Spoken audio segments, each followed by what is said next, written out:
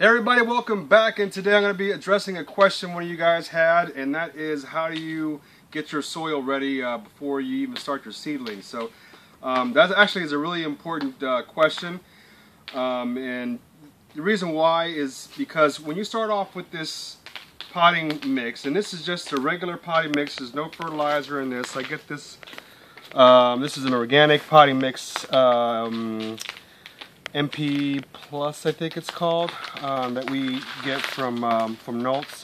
And even though it's a little bit damp, I mean, it's still really dry. You can see if I try to squish it, I mean, it's just, you know, super dry.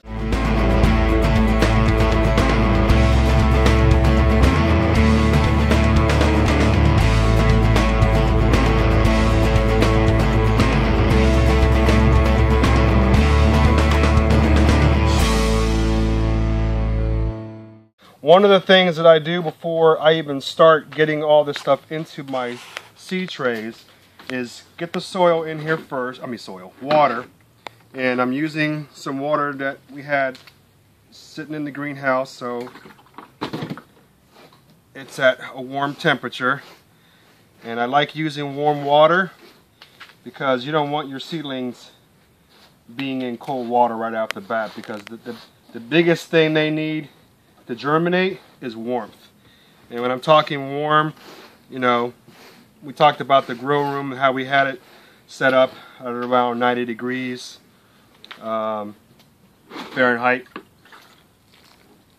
And that's important because you want to make sure that your seeds are nice and toasty warm. Alright, so as you can see, I'm trying to mix everything. And I try to get all the corners in. We're starting to get there. And like I said, I try to get all the edges mixed in. And the way I test is I just do the squeeze test, okay? If I can squeeze it and it's starting to come together, it's getting there, but we're not there yet, okay? So again, we're going to keep adding water.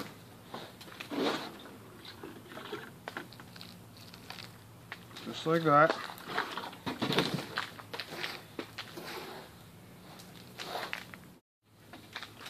Alright guys, I think we're good enough.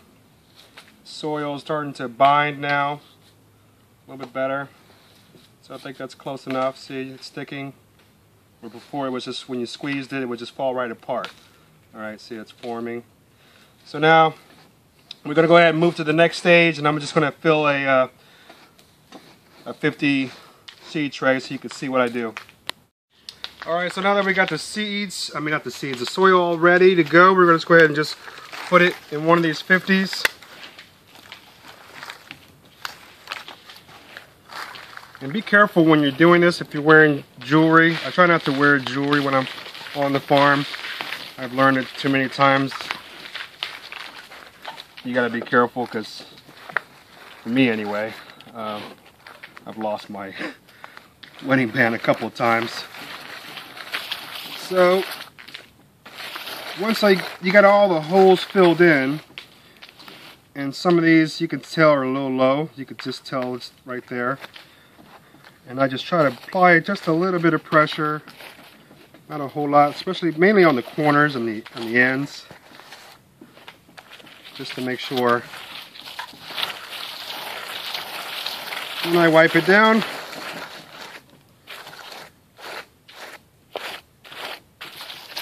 Okay? And then from here you're pretty much ready to go. Uh, everybody has a different technique.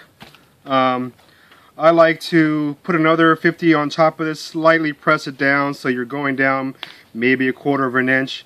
And then all the um, um, the spots are set up for your for your seedlings. Um, and this is normally what I do for like tomatoes and peppers and things like that. When it comes to lettuce um, I probably don't go quite as deep because you know the seeds are way smaller. So that and you use 98s. Yeah, uh, but it's the same process with the 98s as with the 50s uh, in terms of the soil and in terms of putting your your your um, potting mix in here and getting it ready. So that's pretty much it, guys.